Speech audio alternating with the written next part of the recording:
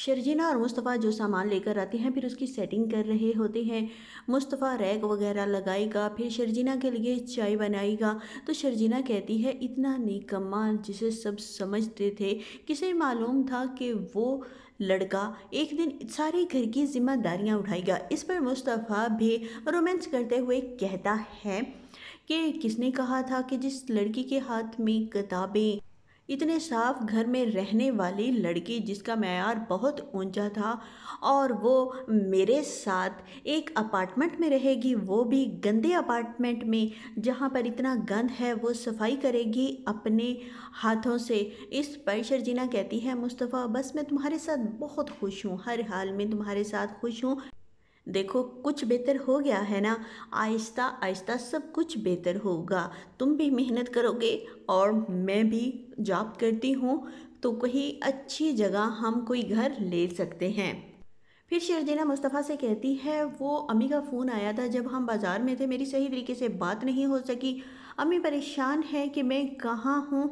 तो क्यों ना आज हम उनके घर चलते हैं। जवाब में मुस्तफ़ा कहता है हाँ मैं तुम्हें वहाँ ड्रॉप कर दूँगा और मुझे कुछ काम है, मैं वो कर लूँगा। इस पर शर्जीना कहती है, ठीक है।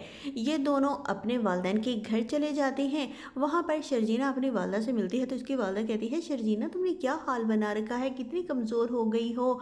देखो किस तरह के कपड़े पहने हुए हैं। इस पर शर्जीना कहती है, आप बैठे, परेशान होने की ज़रूरत नहीं। मैं बिल्कुल ठीक हूँ, बस वैसे ही आपको वहम हो गया है, मुझे कुछ भी नहीं। बाज़ार से आई हूँ, वो रश था, गर्मी थी, इसलिए मेरी ये हालत हो गई है। इसकी वालदा इसे खाने के लिए कुछ देगी, छोटी बेटी को कहेगी, जल्दी करो, तुम्हारी बहन आई है इसके लिए अच्छा सा कुछ खाने के लिए लेकर आओ, पानी लेकर आओ। तो वो भी इसके पास आकर बैठ जाती है और पूछती है कि, मुस्तफ़ा भाई कहाँ हैं? जवाब में शर्जीना कहती है, वो किसी ज़रूरी काम से गया है, वापसी पर मुझे लेने के लिए आएगा। फिर शर्जीना अपनी वालदा को सारी स्टोरी सुनाती है कि किस तरह रुबाब ने हमारे साथ किया और पैसों का इल्ज़ाम मुस्तफ़ा पे लगा दिया। हमारे कमरे में से पैसे उससे मिली हैं। इस पर इसकी वालदा कहती है मुझे लगता है कि वो यहाँ पर सिर्फ़ इसीलिए आई थी कि तुम्हें और मुस्तफ़ा को इस घर से निकाल सके।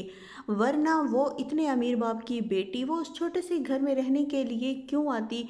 क्यों पड़ी थी उससे अपने ससुरालियों की इतनी खिदमत करने की, उनके आगे पीछे यूँ बिछे जाने की?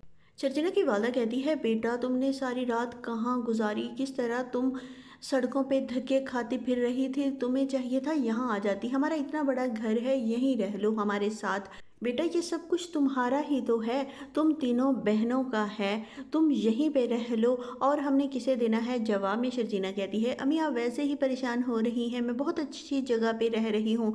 हम बहुत खुश हैं, फिर मुस्तफ़ा आएगा और फिर शर्जीना इसके साथ घर वापस चली जाती है। तो शर्जीना की वालदा कहती है कि मैं जाकर देखती हूँ, मेरी बेटी कहाँ रहती है, इसका नया घर कैसा है?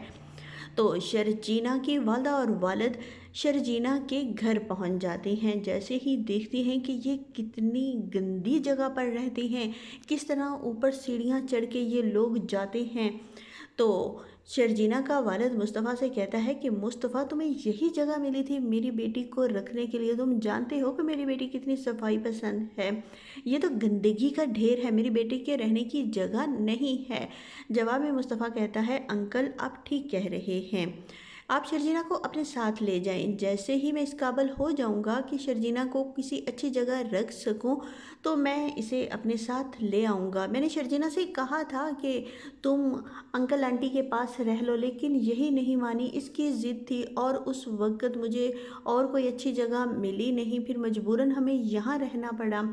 इस पर शर्जीना कहती है, मुस्तफ़ा, कैसी बातें कर रहे हो? मैं भला क्यों तुम्हें छोड़ कर जाऊँगी? ये अपने वालदेन से भी कहती है कि, आप परेशान मत हो। मैं यहाँ बहुत खुश हूँ। इसकी वालदा और वालद बहुत इसरार करते हैं। नहीं बेटा, तुम यहाँ नहीं रह सकते। तुम्हें ऐसी जगह पे रहने की आदत नहीं है। देखो तो सही, कितनी गंदे लोग, बदतमीज़ लोग हमने देखे हैं। वो औरतें लड़ाई कर रही थी। कितने बदतमीज़ बच्चे हैं। इधर रुबाब जैसे ही यहाँ से चली जाती है अपने डैड के पास तो अदील बहुत खुश होता है, शुक्र है कुछ दिनों के लिए ये यहाँ से गई और मैं आज़ादी से घूम फिर सकूँगा। ये नताशा को फ़ोन करता है, आओ हम कहीं डिनर करते हैं। नताशा भी तैयार खड़ी होती है। वो कहती है, ठीक है, ये अदील के साथ डिनर करने के लिए, लंच करने के लिए ये दोनों बहुत एक दूसरे के साथ टाइम स्पेंड कर रहे होते हैं, बहुत खुश होते हैं। अदिल बहुत खुश होता है। नताशा कहती है कि, आप इतना क्यों खुश हैं? जवाब में अदिल कहता है कि रुबाब गई हुई है, इसलिए खुश हूँ, चार दिन आज़ादी के गुजार लूँ। फिर वो आ जाएगी, फिर से वही कैद कहाँ गए थे, कहाँ थे, हर वक्त मुझ पर नज़र रखती है। मुझे उसका ये तरीका बिल्कुल भी पसंद नहीं, भला अपनी बंदा ज़िंदगी गुजार सकता है, अपने तरीके से इंजॉय कर सकता है, नहीं, बस वो ये चाहती है कि जैसा वो कहे, वैसा ही मैं करूँ। इधर मुस्तफ़ा की बहन मुस्तफ़ा के लिए बहुत ज़्यादा परेशान होती है कि अल्लाह जाने वो कहाँ है, किस हाल में होगा, कहाँ गया होगा। इसलिए ये इसे फ़ोन कर रही होती है। मोबाइल पड़ा होता है शर्जीना के पास। शर्जीना मोबाइल देख के कहती है कि, मुस्तफ़ा, ये तुम्हारी कॉल है। मुस्तफ़ा जैसे ही नंबर देखता है, इसकी बहन का होता है तो ये बंद कर देता है। जवाब में शर्जीना कहती है, कौन था? क्यों फ़ोन बंद किया? इस पर मुस्तफ़ा कहता है कि, आप ही का फ़ोन था। जवाब में शर्जीना कहती है, बात कर लेनी थी ना। क्यों मोबाइल तुमने बंद किया है? इस पर मुस्तफ़ा कहता है, मुझे किसी रिश्तेदार की ज़रूरत नहीं है। मेरे लिए तुम काफ़ी हो। इस बुरे वक़्त में तुमने मेरा साथ दिया है। सब घर वालों ने मुझे निकाल दिया। उस वक़्त बाजी भी नहीं कह सकी कि मुस्तफ़ा ने ऐसा कुछ नहीं किया। वो सब तो रुबाब के ग़ुलाम हो गए हैं ना? उसके पास पैसा है, इसलिए कौन मेरा साथ देगा? अब मेरा हाल क्यों पूछ रही हैं? उस वक़्त पूछती जब मुझे, मेरे वालदेन ने मुझे घर से निकाला था। उस वक़्त रोकती कि मुस्तफ़ा तुम कहाँ जाओगे? शर्जीना कहती है कि मुस्तफ़ा, उसमें, उसकी तो कोई गलती नहीं। तुम्हारी बहन की, अब वो क्या कर सकती है? वो भी उसका भाई है, तुम भी भाई हो, इसलिए वो खामोश रही। जवाब में मुस्तफ़ा कहता है, ठीक है, वो खामोश रही तो अपने दूसरे भाई को रखे। मुझे अब किसी रिश्तेदार की ज़रूरत नहीं, और ना ही मैंने पलट कर अब किसी के पास जाना है। इधर रुबाब अपनी सास को फ़ोन करके इसका हाल पूछती है। कि कैसा है आपका हाल और अंकल का? मेरी उनसे बात नहीं हुई। आप मेरी उनसे बात करवा दें। जवाब में रुबाब की सास कहती है, ठीक है, फिर ये अपने शोहर को फ़ोन देती है। ये ले, रुबाब का फ़ोन है। बात करी ना तो मजबूरन अब उसे बात करनी पड़ेगी। कहेगा, क्या हाल है बेटा? तुम ठीक हो? जवाब में रुबाब कहती है हाँ अंकल, आपकी सेहत कैसी है? मुझे आपकी बहुत फ़िक्र है। बस कुछ काम थे, इसलिए मुझे यहाँ आना पड़ा। तो मैं बहुत जल्द वापस आ जाऊँगी, जवाब में इसका ससुर कहता है हाँ बेटा, मैं बहुत ठीक हूँ, तुम्हारा बहुत बहुत शुक्रिया, तुमने हमारा कितना ख्याल रखा और तुम बाहर चली गई हो, तब भी तुम्हें हमारी फ़िक्र है कि हम किस हाल में हैं। इस पर रुबाब बहुत खुश होती है, फ़ोन बंद कर देती है कि मुझे आप लोगों की कोई फ़िक्र नहीं।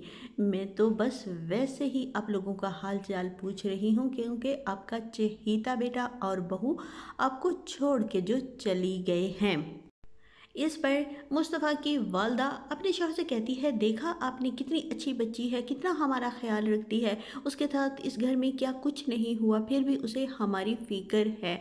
बार बार वो आपका पूछ रही है, कैसी तबीयत है अंकल की? और एक आप हैं कि आपको उससे शिकायतें हैं। और एक हमारा बेटा मुस्तफ़ा, वो अपनी बीवी का पल्लू पकड़ के घर छोड़ के चला गया। ये भी नहीं सोचा कि मेरे माँ बाप का क्या हाल होगा। उसे मालूम तो था आपकी सेहत के बारे में। उसने एक दफ़ा पलट कर भी नहीं देखा। आया गुस्से में। होती रहती हैं ऐसी गलतियाँ घरों में। बैग उठाया, बीवी को लेके चला गया और वो अब अपने ससुराल में बड़े मज़े से रह रहा होगा। ऐसे होते हैं दोस्त।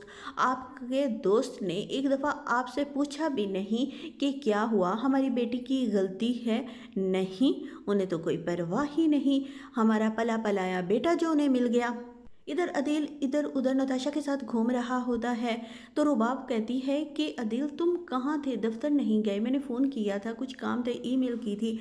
जवाब में, अदील बहाना बना देता है। वो तुम जानती हो ना कि अबू की तबीयत ख़राब थी, इसलिए मैं वहाँ उनके पास आज रुक गया। दफ्तर नहीं गया। तो मैं कल चला जाऊँगा। इस पर रुबाब कहती है, अब कब तक तुम अपने माँ बाप के पास रहोगे? मेरे यहाँ पता नहीं कितने दिन लग जाएँगे। तुम यूँ ही उनके पास बैठे रहोगे।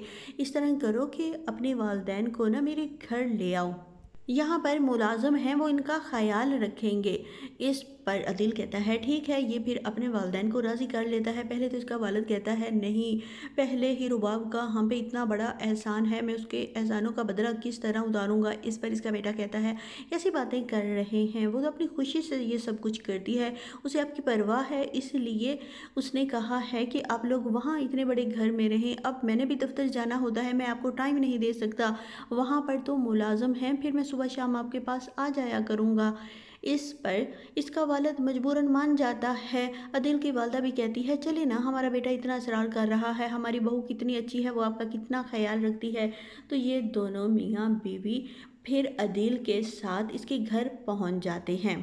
रुबाब यही चाहती थी अदिल की और इसके वालदेन की ईगो ख़त्म करना कि बड़े आए बातें करने वाले। हम बहुत ही कनात पसंद हैं, हम किसी के घर नहीं रह सकते। अब आए ना, मेरे घर पलटते हुए। मेरा नाम भी रुबाब है। मैं जो सोचती हूँ, वो करके रहती हूँ।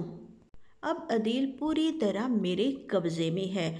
ना अपने माँ बाप के पास जाएगा, ना मुझे उसकी बातें सुननी पड़ेंगी। अब मेरे घर में मुलाजम बन के रहेगा मेरा।